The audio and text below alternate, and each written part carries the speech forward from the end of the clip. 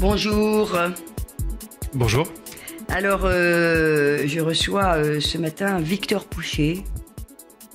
Euh, vous êtes quoi? Vous êtes professeur, poète, voyageur? Oui, euh, un peu de tout ça. euh, le, temps le plus long est le temps passé à enseigner, mais euh, en effet, j'écris. J'essaie de me promener dans les livres, dans les lectures. En tout cas, tout, tourne autour des livres, ça c'est sûr. Alors, vous êtes professeur de littérature en classe prépa. Tout à l'heure, vous me disiez c'était des classes prépa plutôt, plutôt scientifiques. Avant d'enseigner, bon, vous avez eu plusieurs vies et, notamment, j'ai vu que vous étiez un grand voyageur. Oui, alors grand voyageur, en même temps petit voyageur, je je- j'aime euh, arpenter euh, et marcher. euh, et j'ai j'ai entamé il y a quelques années avec des amis une sorte de tour de France à, pied qu'on mène euh, chaque année par étape. Donc c'est un projet qui devrait nous mener euh, euh, jusqu'en 2060, même au-delà. Vous voyez loin. Euh, voilà, on, on s'engage dans un projet qui est à l'échelle d'une vie. Mais avant, vous, vous aviez, euh, vous à bord d'un petit bateau, là, j'ai vu à voile. euh, Oui, quelques. vous avez eu un projet un peu fou. Oui, quelques traversées euh, à la voile, quelques petites escapades, mais, mais voilà, assez modestes. hein. Bon, enfin, on voit que. Euh, on voit qu'autour euh, de ça, il y a beaucoup de sources d'inspiration. Et votre euh, premier roman, que je qualifierais de très érudit et subtil, on en a parlé à cette antenne, Pourquoi les oiseaux meurent, est sorti en septembre dernier aux éditions Finitude, une très jolie d'ailleurs petite maison d'édition. Vous avez, j'ai vu parmi vos sujets de de, de prédilection, euh, vous aimez beaucoup Stendhal?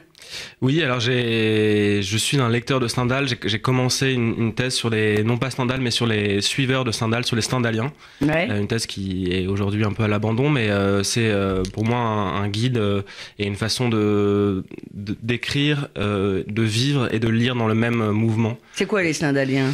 Bah, les Stendhaliens, c'est ceux qui ont choisi que Stendhal comme comme maître, pas simplement maître de littérature, mais maître aussi de d'existence, une sorte de modèle d'existence, de de façon de rapporter le monde à soi, euh, de regarder le monde, de regarder l'art, de regarder les livres, de regarder l'amour à travers des yeux euh, de Stendhal. Euh, Bon, euh, des grands Stendhaliens aujourd'hui? Euh, oui, je sais pas très bien si le, si le stendhalisme est encore vivant. Oui, oui, il y a encore beaucoup de, euh, je pense, de lecteurs et d'amateurs de Stendhal. Alors là, euh, vous venez nous parler de Comme un bal de, fan- de fantômes euh, d'Éric euh, Poindreau. Euh, alors on va revenir sur ce titre euh, qui est, je sais pas si c'est un titre du en même temps, mais en tout cas c'est un titre euh, un peu paradoxal. Il y a le bal comme ça, où il y a des papillons d'ailleurs euh, sur cette euh, sur cette euh, couverture euh, délicate, subtile. Et puis il y a quand même le mot fantôme, donc on voit bien qu'on va convoquer euh, des compagnons euh, d'écriture dont certains sont euh, ne sont plus de ce monde ou dont beaucoup même ne sont plus de, ce monde. Quelques mots euh, sur l'auteur euh, Éric Poindreau. Oui, alors c'est un, un auteur qui ressemble, euh, je crois, beaucoup à son livre. C'est ça aussi qui me qui me plaît. C'est un, un- quelqu'un qui euh, a eu euh, mille vies, euh, qui euh, qui a été euh, éditeur, enfin qui est toujours éditeur, qui a été journaliste, euh, spécialiste euh, de la région de Reims, du vin, de l'alcool, euh, mais aussi marcheur. Il a suivi les pas de Stevenson dans les Cévennes. Euh, il a écrit, alors, s'il faut, il faudrait lire sa, sa bibliographie qui est très impressionnante. Ah, c'est quelqu'un d'incroyable, hein, Voilà, il, est, il est collectionneur, curieux. euh, il a écrit aussi bien des livres sur les fantômes que euh, sur le champagne, euh, des livres sur la littérature. Donc c'est un. Tavernier un lui a confié, de- Bertrand Tavernier lui a confié l'écriture de scénarii. Voilà, oui, il est, il est vraiment. c'est quelqu'un qui qui est ouvert complètement au plein monde. de chants, dans- au sens littéral d'ailleurs du terme, parce que j'ai vu qu'il a écrit un gros pensum sur le cinéma italien. Oui, oui, oui. Il y a une, une forme de, de curiosité ouverte euh, euh, chez, chez Eric Poindron et qui est, euh, et qui est, qui est très belle euh, parce que parce que c'est une curiosité généreuse qui, euh, qui s'ouvre aux autres, aux auteurs, mais, mais pas simplement, Ouais. enfin, au monde. Alors c'est très vrai ce que vous dites, c'est c'est généreux, et quand c'est généreux, euh, derrière l'abondance, on essaye de faire en sorte que l'abondance elle soit accessible à tout le monde. Et il y a une espèce de simplicité aussi de l'écriture Oui, euh, qui fait qu'il va y avoir plusieurs niveaux de lecture possibles et que c'est très ouvert tout en étant très érudit si on va puiser derrière. Mais tout le monde peut y trouver quelque chose dans l'écriture de Poindron, comme un bal de, euh, fantôme, pardonnez-moi. Oui, moi, le, le, le, le modèle que ça m'évoque, c'est la conversation c'est une poésie qui est en conversation, qui est en conversation aussi bien avec euh,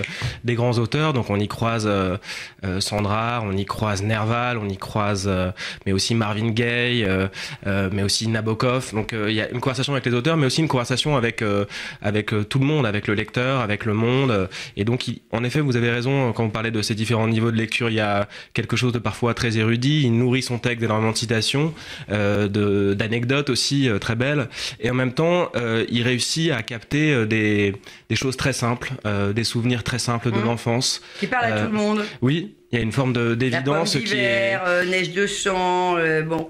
Alors il y a six saisons. Pourquoi six saisons ah bah alors ça, il faudrait lui demander. mais... oui, oui, il y, a, il y a quelque chose, euh, en effet, qui s'appuie sur le sur le temps, euh, euh, le temps saisonnier et qui permet, en effet, ce, ce, cette logique aussi de retour. Il y a un poème qu'on retrouve à la fin. il y a quelque chose, peut-être qu'on pourrait en, lire quelques passages. Un petit, un, petit bout. Un petit. alors justement, c'est au tout début de, cette écriture. Allez-y. C'est une, strophe justement qui, qui, évoque l'enfance. D'Éric Poindron comme un bal de fantôme. On donne envie. Quand je serai petit, je serai raconteur de marelles, essayeur de labyrinthes, éleveur de toupies, dresseur de petits pois et de chats volants aussi.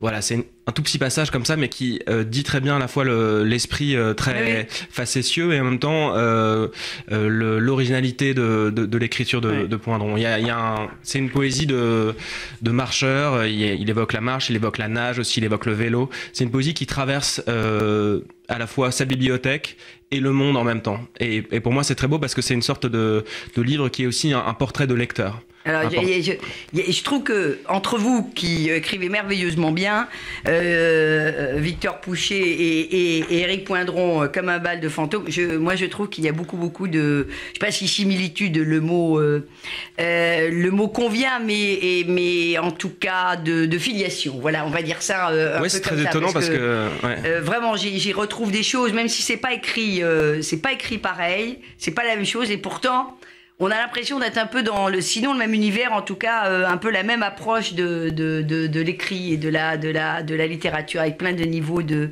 de lecture. Si je dis euh, ce livre comme un bal de fantômes, que moi je conseille à tout le monde, franchement, euh, on monte dans son bus, euh, on a deux minutes le matin. vraiment, c'est comme si on prenait une petite fraise, voilà. c'est une balade littéraire? Oui, je crois vraiment que c'est une, une, balade littéraire, c'est une expression qui fonctionne très bien, c'est une traversée euh, de, de, la bibliothèque. Et c'est une traversée aussi euh, d'un euh, pas simplement euh, des livres mais aussi des auteurs. C'est-à-dire que Poindron euh, ça ce qui est intéressant je trouve dans son rapport à la littérature c'est qu'il s'intéresse à la vie des auteurs. Il considère les auteurs pas simplement comme mmh. comme voilà nourrissant de bibliothèque mais des auteurs qui traversent l'existence avec poésie. Et donc il va chercher aussi l'anecdote des auteurs. Il va parler de lorsqu'il parle de Nerval il parle pas simplement de l'auteur il parle aussi de l'homme mmh. lorsqu'il parle de Nabokov là aussi, euh, il évoque le Nabokov qui, euh, qui, comme lui, part à la recherche des papillons, qui est un, un, un écrivain merveilleux parce que c'est un écrivain euh, de la sensualité, de la générosité sensuelle. Et donc, donc c'est une traversée de, voilà, c'est c'est pas de l'érudition, c'est vraiment une poésie qui qui s'ancre dans le monde. Hein, en même temps, oui, mais en fait, c'est c'est nourri quand même. Est un, est un grand lecteur, un grand collectionneur de livres. Il a un rapport vraiment très intense, très excessif aussi au livre. Il l'évoque dans un autre de ses livres qui s'appelle De l'égarement à travers les livres, il y a, quelque chose euh, euh, qui, comme une vraie obsession euh, du livre et de, l'écriture, euh, mais, euh, c'est ancré dans le monde. Voilà, on n'est même pas obligé d'avoir lu Borges pour apprécier, voilà, par exemple, j'ai un, poème apprentissage, les nuits, les nuits, les nuits à ramasser les cailloux, troués, qui portent chance, etc., etc. On n'a pas besoin euh, d'avoir lu, euh, de connaître, et c'est ça que je trouve très beau. C'est une littérature savante, pas prétentieuse, qui est ouverte quand même à, à, tous. Oui, oui, c'est un livre dans lequel on peut se perdre aussi. Et, euh, et il réfléchit à cette, euh, à cette idée des chemins qui se perdent. Peut-être que je peux lire un autre oui. passage. C'est euh, à la page 164, c'est un poème. Dans, je redis, comme un, Paul, comme un bal de fantômes, pour ceux qui prennent l'émission en cours, de Eric Poindreau aux éditions euh, Le Castor Astral. Je m'embrouillais dans mes routes, je poussais alors des portes magnifiques et invisibles, j'arpentais des villes qui n'existaient pas.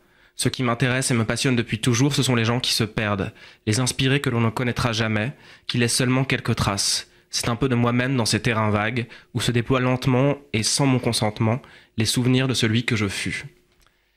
Et voilà, ça, ça me semblait extrêmement beau parce qu'on voit bien qu'à travers cette traversée littéraire, ce qu'il dit, ce qu'il montre, c'est une forme de portrait de lui, de portrait des chemins qu'il a pu prendre, des chemins qui se sont euh, déroutés.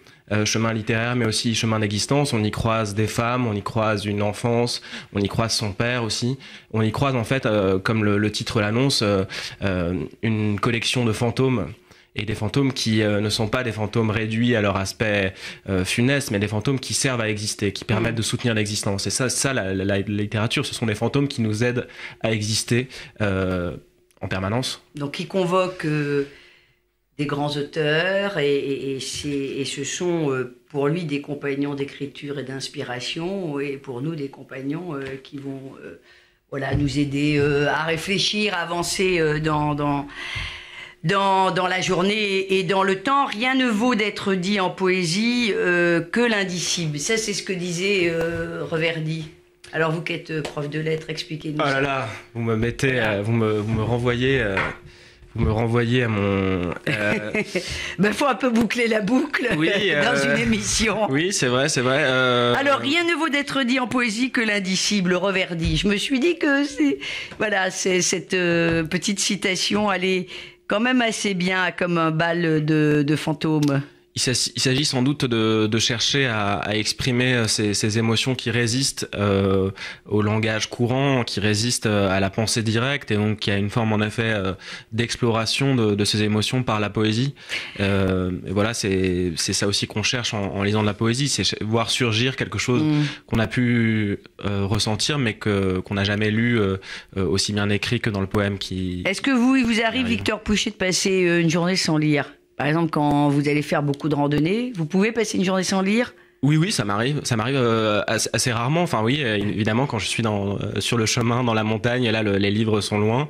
mais je me rends compte qu'en fait, l'écriture, elle se passe aussi parfois dans la tête. Et que donc, oui, évidemment, je, je sors de la bibliothèque. Alors, on, aura la chance de, de de vous avoir euh, dans le festival Quartier du Livre euh, qui est organisé à la fin du mois de, mai, du 23 au 30 mai. Euh, je crois que vous dédicacez, vous animez euh, une balade littéraire? Oui, il y aura une, une promenade littéraire euh, avec Éric Poindon d'ailleurs, euh, à travers quelques lieux singuliers et étranges du 5e arrondissement. Alors moi je pense que ça va être un grand moment, voilà. Ça, je pense que ça va être un très gros, un très grand moment, que les drôles, les drôles d'oiseaux du 5e, ça sera pour initiés et pour, et pour non initiés.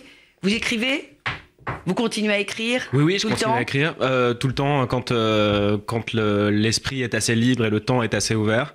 Mais oui, oui, euh, le c'est quelque chose que je ne, je ne, peux pas arrêter de faire. Voilà, alors ce matin, c'était Victor Pouchet qui est venu nous parler d'un d'un très bel ouvrage euh, euh, que j'ai du mal à définir parce que je peux pas dire c'est un, un, recueil de, de, de poésie, ça veut rien dire. Euh, non, parce que c'est vraiment le. C'est une balade. J'appelle ça balade littéraire. Moi, une balade littéraire comme comme un bal de fantômes d'Éric Poindron, euh, avec une très jolie préface d'ailleurs. Euh, et et c'est magnifique, voilà. Et on voudrait avoir plus souvent des, des ouvrages comme ça dans les mains comme un bal de fantômes. Et c'était donc euh, Victor Pouchier. Merci beaucoup. Merci beaucoup à vous.